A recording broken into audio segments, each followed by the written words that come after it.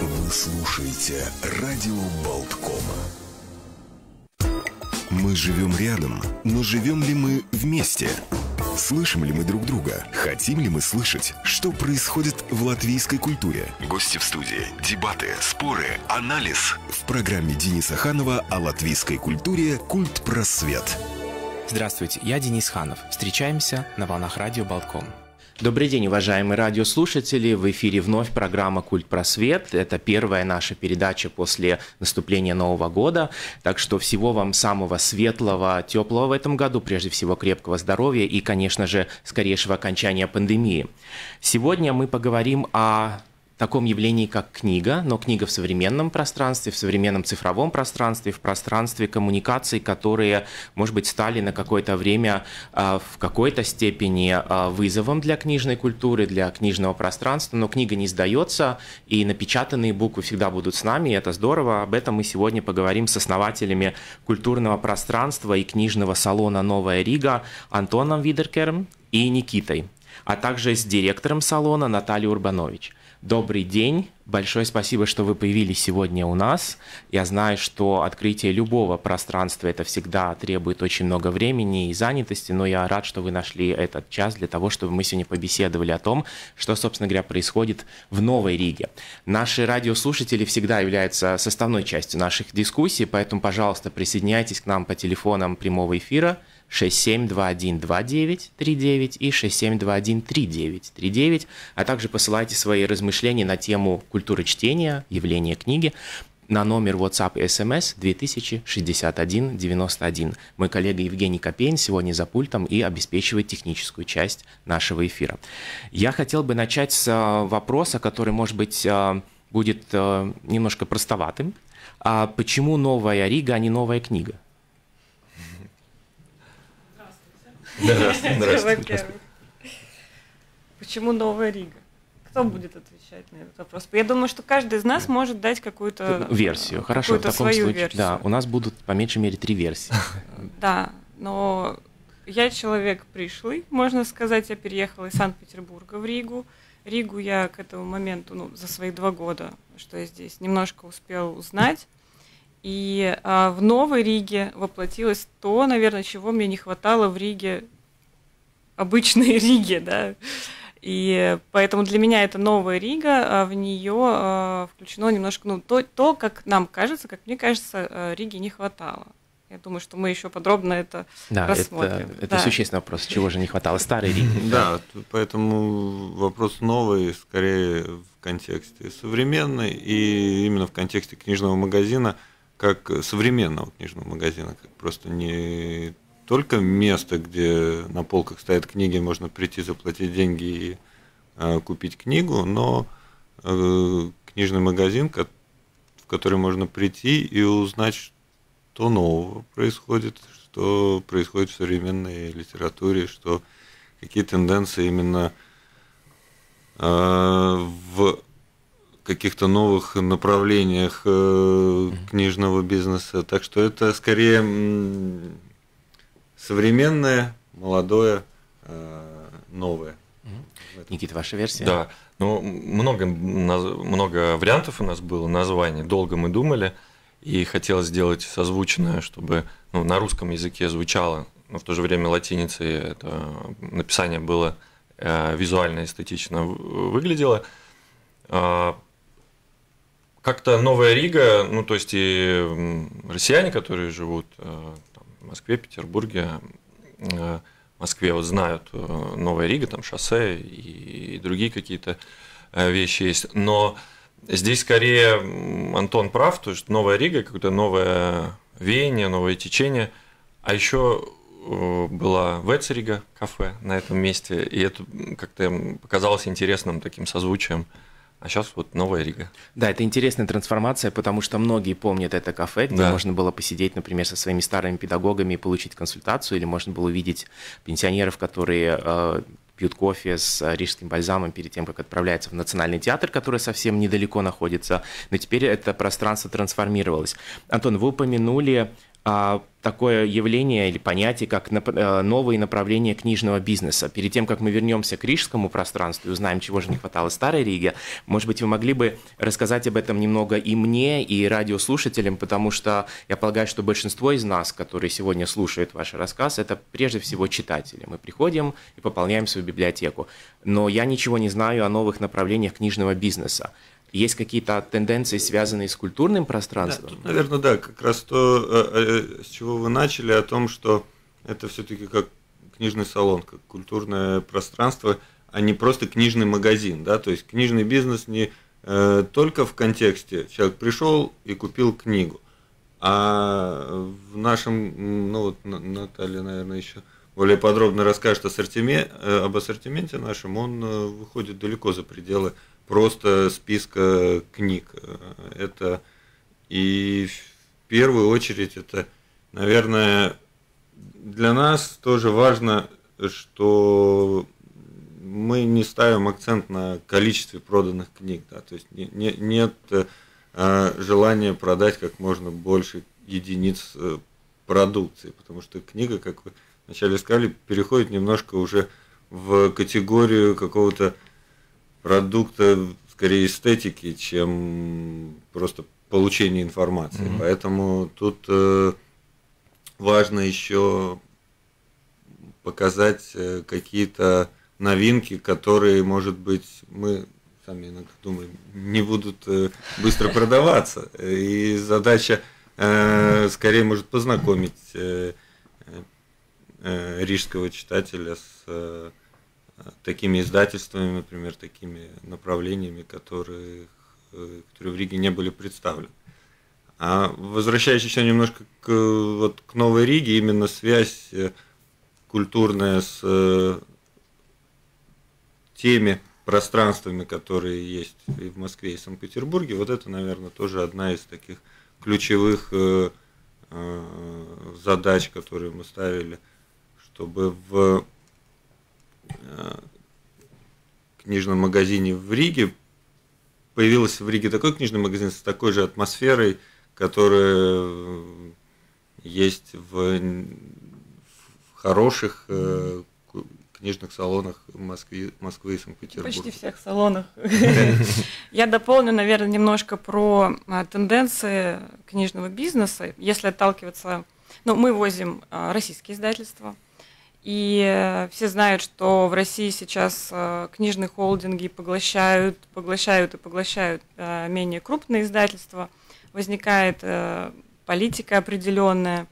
И лично мне также хотелось еще очень поддержать небольшие, маленькие независимые издательства России, коих великое множество – вот мы сейчас сотрудничаем примерно, ну там уже за сотню перевалило, то есть список издательств, с которыми мы работаем, мы можем где-то взять одну книгу, две, неважно сколько, а, но нам важно и поддержать эти издательства, и рассказать э, жителям Латвии, что есть такие издательства. Они раскрывают такие темы, довольно где-то узкие, где-то широкие, но под каким-то своим углом.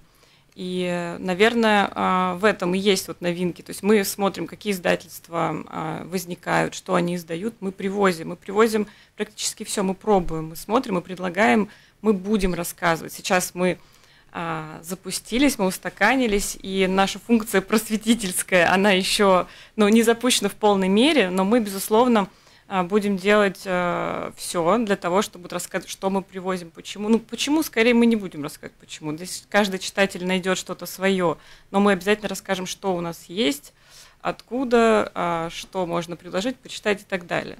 Вот. Это если говорить о вот, новинках каких-то книжной индустрии. Mm.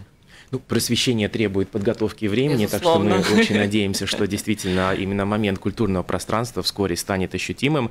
И, Антон, то, что вы упомянули, это, конечно, э, очень сильная мотивация для тех, кто посещает ваш салон, потому что до пандемии можно было буквально каждый третий день ездить в Петербург, были известны времена автобусов или рейсов Air Baltic, из, э, буквально из головы можно было знать, когда, в какой день и в какой час отходит автобус, и во сколько приезжает он туда-то и туда-то. И среди ритуалов посещения Петербурга для меня лично было очень важно посещать как раз книжные салоны. Там все свободные, которые тоже путешествуют по городу.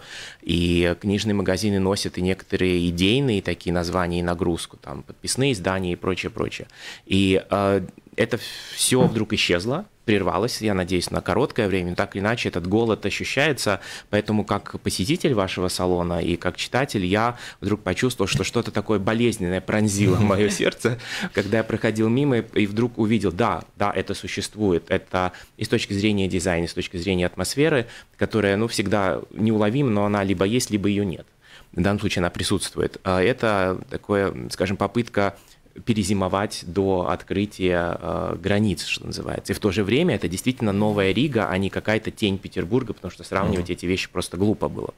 Именно поэтому я хотел, может быть, еще раз э, вернуться к, к вам, Наталья, так как вы... Э, в отличие от нас всех здесь в студии, э, долгое время жили в Петербурге и продолжаете существовать в этом пространстве, но теперь уже взгляд немножко со стороны.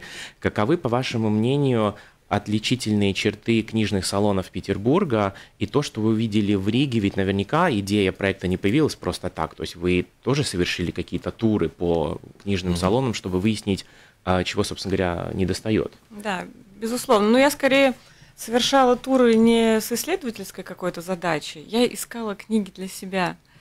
И есть у нас сетевые магазины, в которых русская литература не представлена. А, есть сетевые магазины, в которых представлена огромном количестве, но, к сожалению, не отвечала, наверное, каким-то моим личным запросам. Плюс несколько смущал подход, в принципе, к, к рекомендации, наверное, к общению с посетителями. И э, находила я неплохие магазины, но мне хотелось магазин книжный для меня, да, это место, где я могу посидеть, поразмышлять, по пообщаться. И тот магазин, который, в принципе, отвечал ассортиментом, был, к сожалению, неприветлив в плане общения, потому что, извините, освободите место для других посетителей. Плюс э, много из того, что мне нужно было, можно было привезти под заказ. И это очень классно, что есть такая возможность заказать книги, их привезут. Но теряется какой-то вот этот вот флер поиска книги, перелистывания страниц, о, интересно, я возьму или я вернусь. И этого не хватало. И я спрашивала у друзей, все говорили, да, можно заказать, можно съездить в Петербург, можно там еще какие-то. Но нет места, где ты можешь посидеть, почитать, и где ты можешь прийти и взять книгу. Пускай ты даже не знаешь, зачем ты идешь, но тебе что-то расскажут, порекомендуют. Ты сам в спокойной обстановке посидишь, повыбираешь, изучишь. Потому что вот книжный, который я упоминала, там говорили, что вам надо, напишите. Напишите, что вам надо, мы посмотрим. А поговорить хотелось спросить мне. Как же так? Давайте как-то обсудим. И этого мне не хватало. Поэтому, а, когда вот э, мне поступило предложение заняться этим проектом, оно было абсолютно, как говорится, в кассу, я подумала, да, да, да, да, да, да. И вот, наверное, это вот то, чего мне не хватало, и то, что мы постарались воплотить э, в Новой Риге. Место, где ты придешь и сто процентов что-то найдешь, где ты можешь остаться, и где есть э, приятная, комфортная атмосфера для общения на любые темы. Про книги или нет, это не так важно. Главное, что там приятно, комфортно, дружелюбно и так свободно достаточно. Эм, обращение к вам, Антон и Никита. Вы как предприниматели наверняка тоже перед тем, как принять э, такую идею и предложить Наталье заняться книжным магазином, вы ведь анализировали рынок здесь в Латвии, ну, да? в сравнении с э, Москвой и Петербургом. Каковы были ваши выводы? Почему это вас все-таки подвигло на да. идею да, мы будем основывать новое пространство. Э, ну, хочу, наверное, сказать немножко как э, жители Риги и э, немножко скажу э, слово в защиту э, книжных магазинов в Риге. Я э, много лет являюсь, являлся и ну, продолжаю быть регулярным клиентом книжных магазинов в, в Риге, и они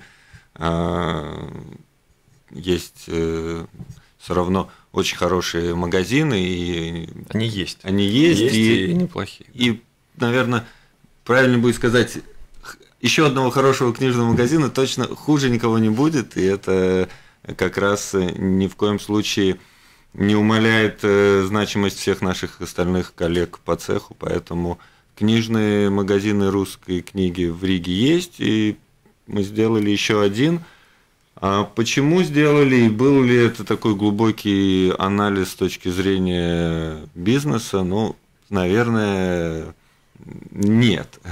да, потому Очень что... редко услышишь такое от предпринимателей. да, потому что это было все-таки более эмоциональное решение, как раз связанное, опять-таки, с невозможностью в определенный момент, достаточно неожиданной невозможностью поехать в Москву и в Санкт-Петербург. И это показало, что эта невозможность показала, что чего-то не хватает. Не хватает, э, как вот э, Наталья правильно определила, не просто место, где купить книги. Нет, книги я покупал в Риге регулярно, и это, наверное, было не так э, болезненно. А болезненно, да, было, что невозможность прийти в и почувствовать ту атмосферу, вот, о которой вы говорили.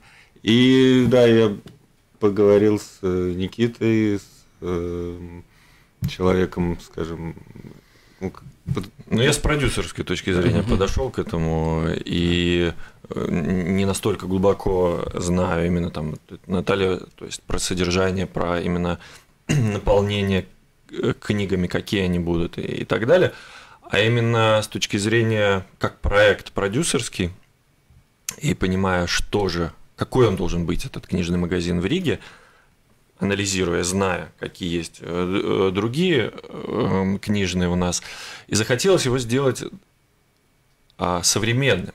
Именно а, с точки зрения дизайна, соприкосновения, вот эти точки контакта с, контактов с клиентом. То есть и привлечение достаточно молодой аудитории читающей. Потому что, как вот Антон тоже ставил одну из, когда мы фантазировали, ставил одну из задач, то есть такая просветительская, чтобы молодые люди, ребята, подростки, постарше... мои дети. Да, дети наши, вот приходили и не говорили, ой, это же книжное, да, это же, это же полки, это же там бабушка сидит, которая на тебя нарычит. Э, э, ну, то есть, условно, это уже не модно, да, а именно э, путешествовать там в Москве, в Петербурге, ты видишь модные места, и молодежь стильную, современную, а, которая пытливо ищет для себя комиксы, а, ищет для себя какие-то научно-познавательные вещи, э, даже художественную литературу с удовольствием читает. И нам, как бы взрослым, кажется, а, дети ничего не читают. Дайте им пространство, куда они могут прийти и заинстаграмить, и заинстаграмить себя читающего. И это не будет позорно, это не будет э, как-то скучно и так далее. И в то же время взрослые с удовольствием придут э, к нам, потому что это достаточно современно. И ассортимент, который подбираем, он тоже все через призму такого ну, э, не, то что молодежного, а такого незашоренного, ну, довольно открытого и свободного на все темы, на все Без прочтения космополи... ну, такой космополитический. Да, да, да. И вот не то, что нам нужен книжный магазин в Риге срочно еще один. Нет, нам нужно пространство, про книги с разговорами и стильное. Угу. И привлекая, вот мы специально привлекли к дизайн-проекту, к созданию брендбука э, московских ребят, для того, чтобы, вот вы правильно сказали, очень приятно слушать э, это плюсик нам, что мы добились такой, ну, чуть-чуть атмосферы, которая напоминает, которая напоминает, которая переносит, и это была одной из целей. Угу. Что ж, тогда, я думаю, могли бы на время отстраниться от самого проекта и, может быть, поговорить о книге, потому что вы сейчас как раз эту тему э, обозначили. Э, чтение – это все-таки интимный процесс. Это встреча с книгой и с автором, то есть их там по меньшей мере трое, да, то есть это э, авторский текст и оформление текста, ну и тот читатель, который воспринимает этот текст. А каким образом, как вам кажется, за последнее время а, книге удалось все-таки выжить? Ведь каждый раз а, книгу какой-то новый, а, я не знаю, там, средство или медий пытался отодвинуть или там задвинуть или, может быть, угрожать. Там предполагалось, что театр погибнет, когда появится телевидение, mm. да, и так далее, и так далее. Когда появились, допустим, всевозможные гаджеты, то э, напечатанная книга тоже казалось вот-вот э, погибнет. Но это не произошло. И вы уже упоминали, что книга тоже может стать частью не только субкультуры молодежной, но и частью какого-то особого, может быть, даже коллективного времяпрепровождения. Как вы собираетесь э, создать вот это пространство для того, чтобы книга была и индивидуальным чтением, то есть моим собственным актом, и в то же время, чтобы я мог э, делиться этим с другими. Как, как соединяется вот это? Как вы думаете это соединять? Вы имеете в виду делиться с другими тем, что я прочел, или своим что, видением? Ну, по крайней да. мере, я понимаю, что есть возможность сидеть в салоне, читать да. книгу, угу. да. И рядом есть еще кто-то, и, как правило, это не предполагается, если это не академическая библиотека, даже там есть возможность как бы скрыться от других. Да? Ну да, у нас нет задачи, а чтобы наоборот. сделать это пространство библиотечным или местом, где я могу э, так же уютно, как дома, с пледом и какао почитать, оно возможно. А, у нас есть кофе, у нас есть а, посадочные места, и есть довольно а, дружелюбное правило такое, ну, свободного пространства. То есть, если человек пришел, он может вести себя как угодно, сидеть. Э, ну, то есть, не, не надо мешать ему в выборе и наслаждении этого путешествия по магазину и выбора книг. Соответственно, прийти индивидуально познакомиться и пощупать, полистать. Поэтому у нас только сейчас э, купить наши книги есть возможность только придя со временем у нас появится возможность и заказать, и доставки, и так далее. Тут Наталья потом расскажет. Но сейчас это такое путешествие, experience, который каждый должен дойти. По-другому никак. Вот. И говоря о массовом, а, э, давать возможность людям делиться про прочитанные книги, это через э, серию мероприятий, через возможные книжные клубы, где гости могут обсуждать, потому что, честно говоря, мы получили много запросов на то, что людям не хватает площадки для обсуждения. Не... Встречи с писателями, да, они проходят. А вот не встречи, вот просто обсудить, например, Вы имеете в виду классические английские вот эти reading club, да? Да, в, э, в той или иной степени, формате, какой ближе будет нашей публике и нам самим, мы хотим делать э, такие клуб обсуждений, чтобы делиться. И вот как вы сказали, это про то, чтобы делиться и получать обратную связь от других людей. Вот вы придете со своим мнением по этой книге, а кто-то придет с другим мнением, и завяжется хорошая история, и это же тоже ну, полезно. Несомненно, какие-то добавления. Да, я бы хотела вернуться к интимности чтения и как мы это реализуем в магазине, как это возможно. Ну, я хотела бы сказать, что мы выбрали именно печатную книгу. Мы не будем, когда у нас будет сайт, скорее всего, продавать аудиоверсии. Угу. Мы не, ну, не призываем... У нас даже есть такой слоган один среди наших макетов «Мой гаджет – книга». И когда у тебя в руках книга, и ты просто вот на секунду туда уже зашел в этот новый дивный мир, то по сути все вокруг перестает существовать. И плюс нашего магазина в том, что здесь тебе не помешают, не подойдут, не, не, не спросят вам помочь или там еще что-то. Ты можешь в этом мире открывать этот мир, понимать его сколько угодно. Мне обожаю, когда у нас люди остаются, прячутся по каким-то углам, Э, ты идешь везде, где-то люди сидят, лежат, это потрясающе. И все они вовлечены вот э, в тот мир, который они для себя выбрали, потому что печатная книга это как раз-таки вот дверь э, в эти миры, это интимно, и ты это полное погружение, ты остаешься уже там. Насколько тебе это удобно, комфортно по времени. То есть мы призываем людей приходить и оставаться. Также ужасно приятно а, получать отзывы а, в соцсетях. То есть мы будем, естественно, развивать все эти площадки. Скорее всего, мы там создадим возможность обмениваться, общаться нашим посетителям, вообще кому угодно общаться. Но сейчас я получаю просто, вот, передаю привет всем, кто пишет, так приятно просто получить, пишут подростки, книги топчик. Я думаю, боже мой, это же бальзам, просто это высшие слова, высшая похвала. Книги топчик, спасибо вам, ребята. Просто пишут, что такая, мне вот это понравилось, мне вот это, это моя любимая. Уже за это огромное спасибо. Люди уже делятся, люди уже а, высказывают свое отношение, и мы понимаем, что мы попали. И, ну, просто вот... В общем, соцсети тоже как площадка для совместного чтения, обмена мыслями, и мы всегда делимся сами отзывами а, наших посетителей, мы все показываем, чтобы другие, допустим, там не боялись, не стеснялись, понимали, насколько у нас все это и интимно, и свободно одновременно. А видите ли вы, а, и здесь каждый из вас может ответить, а, предложить свою версию, какие-то межпоколенческие отличия в культуре чтения? И мы не будем здесь ставить ни плюс, ни минус, не будем ворчать и говорить о том, что вот раньше все было по-другому да. и хорошо.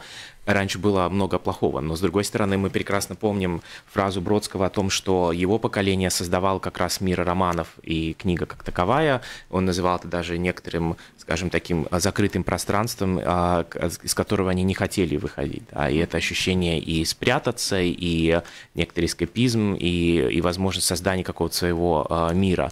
А сейчас мы видим какие-то другие тенденции, что-то по-настоящему отлично, или все-таки просто другое поколение, другие авторы, но какие-то основные паттерны остаются? Ну, я бы вот хотел немножко, э, наверное, свое мнение сказать по поводу, э, я отвечаю на ваш вопрос, и немножко в продолжении того, что мы раньше обсудили э, по поводу чтения в магазине или вообще времяпровождения в магазине. -то.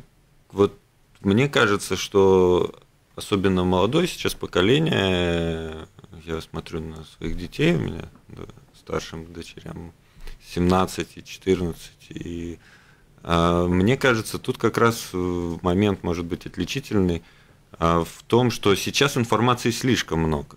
И если, наверное, мы говорим о более старшем поколении, они чаще всего знают, чего они ищут, чего они хотят, потому что э, это такой более целенаправленный приход там, в библиотеку или в книжный магазин, мне вот нужен на такая книга, такой-то автор. А то молодежь, она, она не знает, чего хочет. И вот идея, чтобы, приходя в книжный магазин, э, заинтересовать, чтобы вот тут вопрос эстетики, да, как это красиво Э, как книга выглядит, чтобы интересно было взять э, в руки, полистать, вот, сесть немножко прочесть там одну другую страницу, не понравилось, взять другую. И вот этот процесс выбора, он как раз, мне кажется, очень важен для молодежи, потому что молодежь не знает, что она хочет. И э, то, что э, наша задача заинтересовать и зайдя в книжный магазин, проведя там полчаса, и в итоге человек, может быть, не знал, зачем он пришел, но выходит там с двумя-тремя книгами, вот это, мне кажется, такая сверхзадача. И это... Если бы с двумя-тремя. Да. Я вот э, э, как раз э, и чувствую, вот, наверное, вот это вот поколенческое различие в том, что надо просвещать и показывать, что книга это интересно, что книга это красиво, что книга это модно. Объясняется ли просвещением то, что на ваших полках есть и, условно говоря, мировая классика для юношества, как говорили в старину? Просто я вижу, что, допустим, параллельно с современными российскими авторами и с научной литературой в области искусства и гендерной политики, об этом мы еще поговорим, а вдруг я вижу в других обложках с другими корешками, но классика знакомые... всегда да, современная. Да. Это не менее современная. И, э, допустим, ваши дочери на классику реагируют, она все еще актуальна для них? Я Они думаю, да, да, да. Ну, опять-таки, мы говорим уже классика, тот же там Орвелл, это уже классика, да, По поэтому, дела, конечно, когда-то да. запрещенная, да. да. А, с точки зрения э, все, что касается э, процесса создания внешнего образа, это это к вам, да? Ну да, именно такого воплощения. Скажите, Э, ваш логотип, э, как вот эта вот диагональ или книга, да. приставленная к другим книгам или там к полке, э, это, с одной стороны, минимализм, с другой стороны, очень яркий, говорящий минимализм, очень, да. очень наполнен содержанием. Ну, а вопрос такой, были какие-то альтернативы создания образа? Допустим, у вас, по сути дела, минимализм, светло-серый, нейтральный да. фон. Была возможность что-то такого домашнего? Хорошо, вы упомянули плед, но в пледе я услышал некоторые такие негативные нотки. Значит, плед, видимо, и плюш не годится, да? Были какие-то другие версии? Вы заглядывали заглядывались на какие-то другие примеры, какие-то а, импульсы? Нет, э, изначально, когда я визуализировал в голове своей, э, я это видел достаточно современным таким, чуть ли не выставочным пространством, потому что там, в Москве там музей гараж или глядя на этих издания, минималистичные обложки, э, цвета, эм, каждая линия к линии, то есть это дизайнерская, дизайнерский проект, произведение искусства – и хотелось именно уйти от классического прочтения, что книга – это лампа, торшер, ну, торшер там какое-то уютное пространство. Мы думали об этом, говорили, то есть от библиотечного пространства нужно было уйти вот этого. И тут, возможно, например, мне, как э, инициатору идеи, ближе как раз тот, да. но книжный магазин мы делаем скорее не для себя, а для, да, именно, для, именно понимать, для следующего поколения. Вот для следующего поколения его нужно сделать более таким на шаг вперед. И даже наши цвета вот э, получилось прошлого года или будущего года выбрали. А, Пантон, да, мы попали Пантон. просто в цвет года. Ну, наши художники, да, Совершенно. дизайнеры выбрали. Мы, ну, я этого не знал даже, да, то есть предложенный дизайн-проект оказался такой вот прогрессивный на шаг вперед. А, И не было э, присланный проект по моему брифу, по моему вот, я сразу транслировал, что ей хочется сделать это современное пространство. И было выбрано очень монохромные стены, пол и полки. Мы производили всю мебель сами с нуля, железные полки, э, деревянную мебель, все по чертежам. И сами книги являются объектом искусства, является цветом, который заполняет пространство. То есть цвет у нас присутствует только в обложках. И, соответственно, идея дизайнера была забрать внимание только на книги, не рассеяв его на э, с- какие-то а, да. картины, обои, э, ковры, цветы. Я хотел, ну, не, от- дизайнер отстоял, чтобы у нас не было цветов. Мы все хотели цветы. Понимаете, то есть это очень концептуально продуманный эм, проект, который дизайнер отстоял, и мне кажется, что он сыграл, он сделал свое дело, когда люди приходят и общее впечатление от всего, от стоящих книг, от э, мебели, от месторасположения, которое вот месторасположение нас тоже очень вдохновило на эстетику. То есть, ну, именно ощущение, что да, в, этих, в этой витрине вот я могу сидеть перед этой витриной и смотреть на музей и получать это эстетическое наслаждение. Давайте теперь поговорим об ассортименте, потому что это так или иначе все равно выражение ваших представлений о читателе, потому что это то, что вы им предлагаете. Это всегда, ну, вы конструируете читателя ведь тоже, поэтому любой плакат, который находится в вашем пространстве, это тоже ведь какое-то сообщение. Да? Вы Да. выбрали именно эти плакаты, не, допустим, какие-то реминисценции там с 50-х годов, условно говоря, там игра в ностальгию, там борись за чистоту столовой или еще что-нибудь такое, да, то, что раз- разбросано по, по советскому пространству. Поэтому мой вопрос, а, как вы подбирали э, тематику? Я вижу, что среди э, научной литературы превалируют гендерные исследования.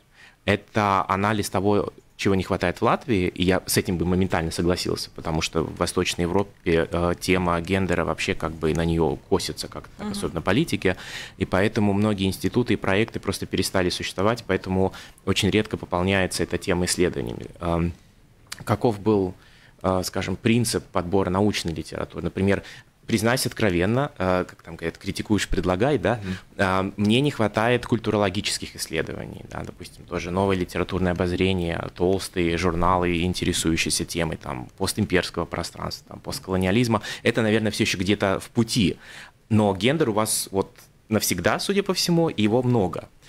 Почему таков выбор? Ну, вот вы буквально ответили на ваш вопрос. А, вот да. вы Я озвучили, на да, вы, вы озвучили э, то, чего не хватает вам. И, скорее всего, мы примем это к сведению и привезем такие книги. И это воронка, которая вот э, раскручивается постоянно. А, во-первых, я хотела бы защитить молодежь немножко. Да. Молодежь прекрасно знает, что она хочет, если честно. А бывает, что они не знают ну, каких-то конкретных моментов, тут э, уже помогают и выкладка наша, которая как бы ведет, да, по пути какому-то, и наши сотрудники потрясающие. И если говорить об аудитории, приходит аудитория, что она хочет. Вот а, зрелая аудитория, я бы сказала, они уже в более какой-то букинистический такой уклон, они ищут в надежде, открыл что-то новое, здесь я найду ту книгу, которую я давно искал. Ну, к сожалению, это уже букинистика, этого нет, но все равно находят. А молодежь прекрасно знает, что ей нужно, и они в восторге от того, что это появилось у нас а, в большом ассортименте. Сейчас много издательств, которые работают э, для аудитории Young Adult, и они издают потрясающие молодежные романы. А, И мы всегда получаем отклик, потому что мы за диалог. И, конечно, что первоначальную подборку я формировала, это, я не знаю, у меня одни эмоции, когда я вспоминаю, как По я ее формировала, потому что здесь важно было отойти от какой-либо вкусовщины. Мой вкус здесь вообще не должен учитываться, не должны учитываться какие-то правила, то есть, знаете, можно найти таблицу, как открыть книжный магазин, то вот там по процентам разложить. Я поняла, что это все тоже не работает.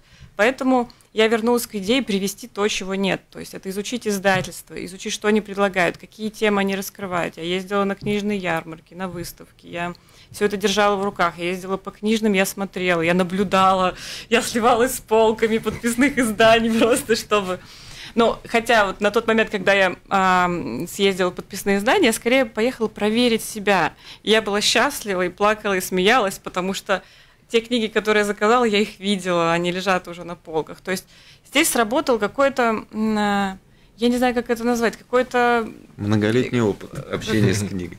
Мы с книгой, с людьми. Я по профессии пиарщик, я не знаю, мне как-то получается охватить, наверное, вот э, течение, взгляды, запросы и все это реализовать в каком-то вот э, итоге таком, какой-то первой подборке. Я ужасно волновалась, я не знала, как э, вообще отреагирует публика. Мне ужасно хотелось угодить каждому гостю, чтобы каждый что-то нашел. А вдруг, думаю, человек придет, а той книжки нет, и что же, что же делать, как же?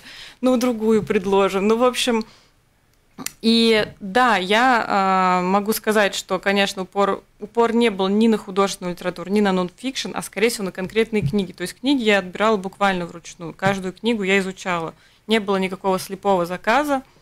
И, э, наверное, да, я еще обратила внимание на то, чего нет – а, собрала гендерные исследования, архитектуру, урбанистику, книги по искусству, художественную современную литературу, как зарубежную, так и российскую. В первой поставке, например, не было прозы, теперь она есть, потому что запрос на нее был. И вот люди, которые а, к нам пошли, они тут же оставляли отклик. И я услышала каждого. У нас можно подойти к сотруднику нашему любому и оставить какую-то заявку. Мы обязательно ее изучим и посмотрим, можем ли мы привести, будет ли это смотреться органично там, в конве да, нашего магазина. люди оставляли отзывы, мы делали до заказы, и то, как меняется наша подборка, это как раз-таки реакции наших посетителей. Мы очень чутки к ней, и это важно. Но вот э, в России есть эм, концепт независимых книжных магазинов, да. А нам здесь в Латвии особо зависеть, ну, не от кого. Но концепция... Нет сетей, да, да, нет политики издательств, а, и каких-то давлений там ценовой политики, то есть такого нет. Но концепция независимого книжного – это где подборку э, осуществляют сотрудники магазина сами и непременно посетители. И вот мы придерживаемся той же политики. То есть независимость мнений, у нас нет внутренних каких-то там ограничений строгих. И если у нас больше запрашивают гендерные исследования, мы привезем больше гендерных исследований, чтобы всем хватило. Потому что бывало, что разбирали книгу просто в лед, и уже очередь, э, лист ожидания. То есть мы привозим под конкретных людей уже книги. Соответственно, э, наша подборка – это живой организм. Все изменения, которые там происходят, это реакция наших посетителей. Таким образом, мы, как читатели и посетители, можем в какой-то степени тоже повлиять на Безусловно. структуру или на поток да. Э, предложения. Вы наверняка помните ваш первый день, когда вы вот открыли ключом подготовленное, значит, э, помещение, включили свет, подключили все остальные системы, кассу и так далее. Каков ваш первый посетитель был, вы помните? Его или ее, или их? Э, да, это была, по-моему, девушка. Она просто зашла посмотреть, что тут происходит. Была очарована одним из наших сотрудников моментально. И э, купила, по-моему, даже сразу несколько книг. Но я не скажу вам, какие, потому что я волновалась так, я краснела, бледнела, то в жарту. Мне хотелось убежать и остаться одновременно, потому что я очень волновалась, мне очень хотелось, чтобы всем все понравилось. Поэтому и, и в этот же день, в принципе, посетителей было уже очень много как-то, потому что внезапно мы даже не сообщили, мы, мы так стихушничали, мы никому не сказали, что мы открылись, мы, мы решили, что мы откроемся да. и посмотрим, что будет, режиме, затаились. А, понятно. Мы затаились, а и к нам сразу пошли люди, так что мы даже не успели объявить официальное открытие до сих пор. И поток был сразу очень большой, что, конечно, безусловно, приятно, и все отзывы были положительными, но кроме тех редких случаев, когда что-то не находилось, сказали, эх, жаль, но, правило, мы это потом привозили. Ну, в общем, начало было просто потрясающим. Конечно, больше всего нас потрясли наши посетители, потому что они были, они дарили нам такое настроение и такой фидбэк, что мы воодушевлялись все больше и больше с каждым днем. Ну, теперь по прошествии какого-то времени вы могли бы набросать, ну, своеобразный социальный эскиз вашего читателя, кто доминирует там? Возрастная категория, допустим, языковая принадлежность, может быть, региональная, там, не знаю, может быть, какие-то определенные конкретные районы города, что-нибудь такое у вас э, откладывается в памяти? Очень разные люди. Языковая, конечно, принадлежность, можно сказать, что больше русскоговорящая аудитория. Но, но есть и латышская. Есть латышская, довольно ага. много. Люди покупают книги в подарок, и идут, что очень приятно, уже за экспертным мнением, то есть э, не разбираясь, например, в каких-то новинках, э, что выходит в российских издательствах, люди приходят к нам, нам нужно. И, в принципе, очень приятно, что многие приходят за рекомендациями. Аудитория самая разная, люди разных возрастов, э, разных профессий, конечно, очень много молодежи, но я не могу выявить какого-то вот там ЦА наша, вот они такие, нет, очень, очень разные люди, что, безусловно, отдельно нам приятно. Какие-то комментарии? Нет, то, что вот Наташа говорит, ходит молодежь, и это прям приятно. То, то мы хотели добиться. Но в то же время а, взрослую публику можно увидеть. Это не, не так, знаете, как что наши родители скажут, ой, да что я тут пойду, там, там же одна молодежь. Нет, э, как не исключаете удалось. никакие, да. э, никаких нет, групп, нет ощущения того, что я ну, вдруг попал прихожу, в, там, в какой-то мир сад. комиксов, да, да, где, ну, как бы, почему? Там молодежь тусуется, это, это нет. Вот какой-то баланс очень аккуратный удалось соблюсти, где и взрослому читающему, может быть, очень опытному и думающему взрослому человеку есть о чем поговорить и что найти, а рядом будет подросток, который э, да. будет визуально. Вот что самое классное, к нам ходят семьями, к нам приходит да. папа с дочкой, к нам приходит там целая семья, все по своим уголкам разбрелись, читают, находят, а смотри, что ясно, это это прекрасно. Вот, вот тот факт, что к нам приходит целая семья, и мы видим мини-модель, собственно, вообще кого угодно, вот это очень круто. Приходят э, женщина покупает подарок зятю, приходит зять, покупает подарок теще. Может быть, это не те же... происходит. Да, да, да, да, именно так. И поэтому, ну, кстати, да, наверное, может быть, именно наши книги сподвигли сделать такой подарок. Не, ну еще около книжных товаров много, которые интересно Да, я думаю, об этом тоже стоит открытки. И нам тоже вот почему это? И мы хотели ввозить классные штуки на русском языке, стильные, дизайнерские вот. от э, разных дизайнеров, художников. Да. А у вас, я понимаю, есть тетради, дни, там для дневников. Есть тетради, значки, далее, да. наклейки, стикеры какие-то. Э, то есть это все около книжное, но, знаете, не хотелось захламить. Не хотелось набрать всего, когда у тебя там миллион ручек и различных э, констоваров, когда ты mm. утонешь в этом. А это тоже наша подборка. То есть каждый значок, он подобран, он, он, он не на обум взят какая-то да, актуальность да. его, визуальная составляющая. И важна, ну, нам тоже важна какая-то история, что-то такое. Ну, очень хочется поддержать классных ребят. Да. Вот взять плакаты, которые у нас продаются, партизан пресс, это же ребята, которые на советском наборном э, на станке, то есть это не какая-то печать, просто принт, вот какую-то смешную фразу. Во-первых, у каждой фразы есть история, можно ее узнать на их сайте. Во-вторых, сам метод печати и тот фанатизм, к которым они относятся. И формулировки тоже их оригинальные, да? Ну, там у каждого, да, это их оригинально, но там у каждой фразы есть текст, э, автор и история, у них на сайте все расписано, там довольно тоже э, забавно. А, и, и вот то, как они относятся к своему делу, э, это ну, просто меня покорило. И не сказать, что они много с кем работают. Тоже им тоже не такой, не, не самый коммерческий проект. Но они вот такие фанаты своего дела да. в хорошем плане. И очень популярные в Москве. И здесь знают. Оказалось, да, что оказалось. очень ждали. Инстаграм. Говорят, у вас есть партизан пресс. Не может быть, наконец-то их можно купить в Латвии.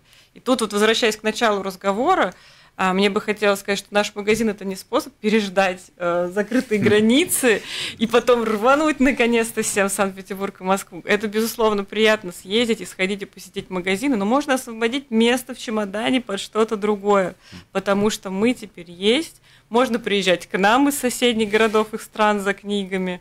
Я очень надеюсь, что э, даже вот из Санкт-Петербурга будут приезжать люди, заходить в Новую Ригу, говорят, а прикольно у вас тут и, и, и так далее. покупать, да. Да, и вот эта наша подборка, она постоянно будет совершенствоваться. Мы не хотим застыть.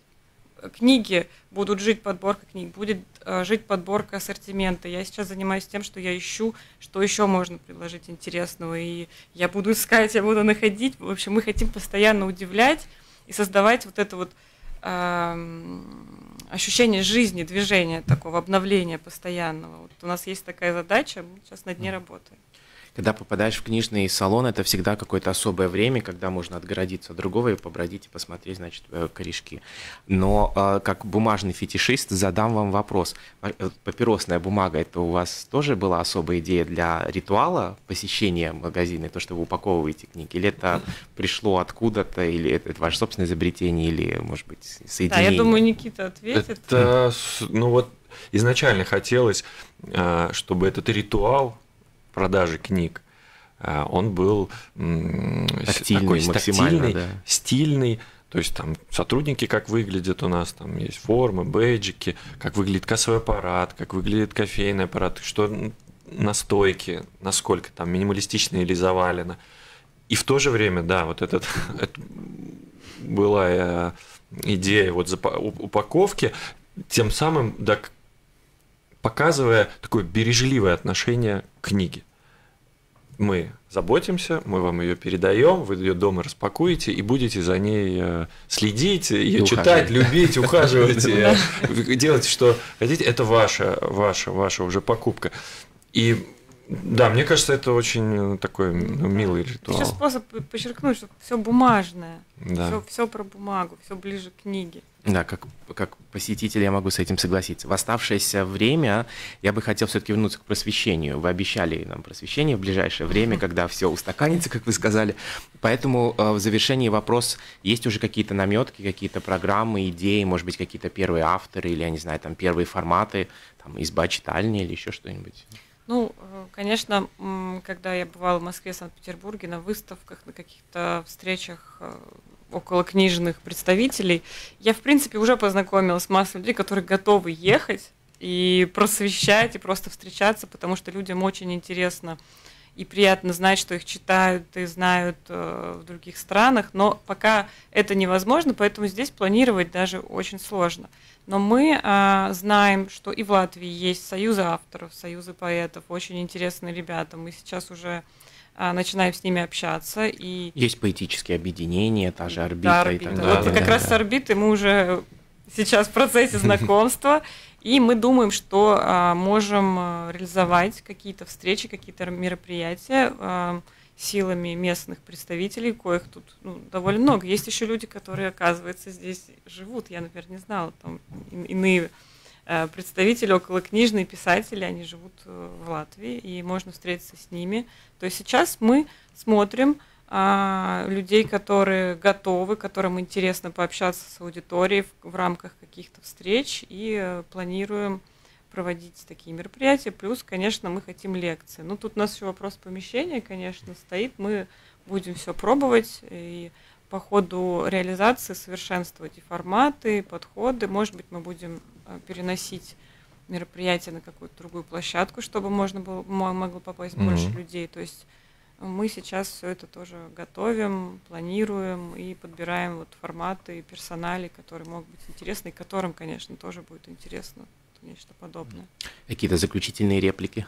Э, да, вот от камерных, э, наверное, мероприятий в, в рамках магазина планируем дойти до более масштабных, которые можно сделать на сторонних площадках, кое э, как бы есть и готовы сотрудничать.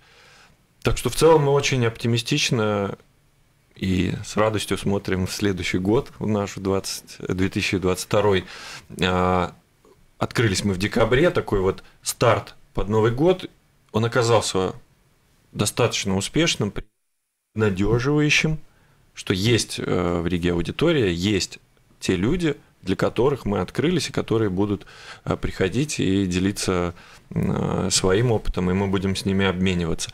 Поэтому перспектива и мероприятий, просветительских каких-то событий, и обновления ассортимента, и знакомства жителей Риги с разными э, проектами, вот как партизан пресс, такими, которые потом станут актуальными, войдут как бы в в поле зрения рижан. Поэтому мне кажется, что все будет достаточно хорошо. Да, и еще раз тоже хочу сказать спасибо, спасибо всем покупателям. И мне кажется, это, наверное, действительно самое важное. Важное, что э, мы действительно очень рады видеть такое количество читающей, интеллигентной, интересующейся публики. И, и рады быть э, частью, частью вот этой культурной среды Латвии. От читающей публики вам большое спасибо за новую инициативу. Успеха вам. Напоминаю, что сегодня в гостях у нас были основатели культурного пространства и книжного салона «Новая Рига» Антон Видеркер, Никита Видеркер и директор салона Наталья Урбанович. Спасибо. Сил вам выдержки и успеха. Спасибо. Спасибо. Спасибо. И до свидания. До свидания. Радио Болткома.